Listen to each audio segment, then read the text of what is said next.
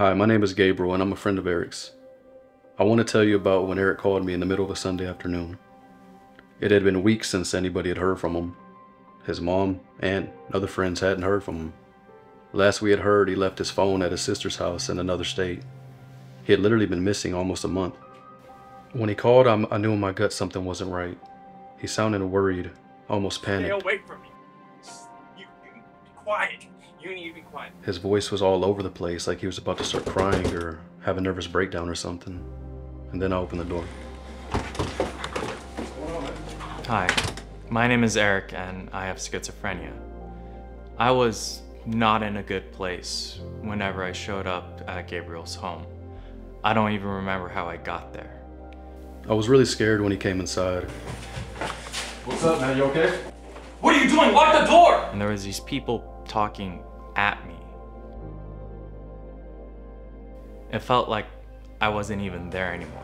No, you leave me alone. I'm tired of listening to you. Just stay away from me. My girlfriend was there, and when he started to move towards the bedroom, I stepped between him and the door. What's up, man?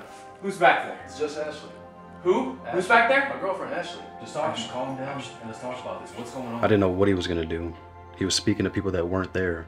I was demanding things. I need to talk to you. Open the door. Who's back there? I sounded aggressive, and I was unwell. I hadn't showered in weeks. My clothes were filthy and dirty, and I just ran to Gabriel's home. I just need to get away from everybody.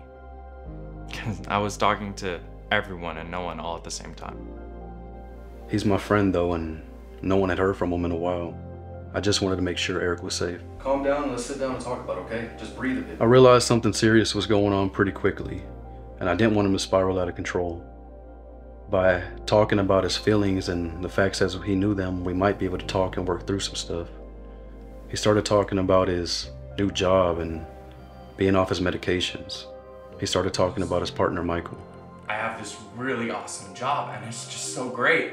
And these, these people are following me and I just don't know what to do. I came here because I know this place is safe and that, that's what I do, right? That's, that's what friends do, right? They come here. So I'm just really, really happy to find you and they're, they're outside. They're outside. When he started talking about his new job, I knew that it was bad. He said he was working for the government and was scared that they would hurt Michael or me if he said anything else about it. I was scared because I didn't know what he would do either. I can't tell you more about it because then you'd be in trouble. And that's why I haven't told Michael either because he'd be in trouble too. He also said that's why he hadn't been talking to Michael.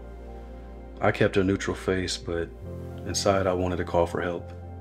I was getting more and more scared for my girlfriend and I. I mean, we're talking about his feelings and I was empathetic to him, but he was also scared and I couldn't tell him I was. It's just been really hard. I haven't been in my house for a good three weeks. I understand, man. Just like I said, let's just sit down and talk about it. It'll be fine, okay? And even when no one was around, I still could hear things coming from them. But Gabriel was smart, and he's someone I know I can go to. Gabe listened to me. He didn't interject, and he made me feel like I was heard. It was really easy to share my feelings with him. I just felt like I needed to be there for him. He seemed scared and so incredibly alone. I felt like I was alone. I couldn't talk to anyone about this, and I kept hearing these voices in my head out of nowhere. And I've been on my meds consistently for years, and it only took three months for these voices and figures to come back. I had to lie to my family and, and my partner. And that was painful. Even though he hadn't talked to anybody else about this, I felt good being there for him. He felt safe coming to me. He understood that something was wrong and he really wanted to save his relationship. I suggested that we call his partner to ask for help. I agreed to call Michael. I love him, and I knew that he would understand what I was going through. He's always been there. I hugged Gabriel after he made me call him. Although Erik was filthy, I know that's what he needed. I offered to let him take a shower and he agreed. After that, Erik set up an appointment with counseling services to see a therapist and begin the process of getting him back on meds. Gabriel and Michael were always there for me, and even though my life was spiraling, I was always appreciative of what they did for me.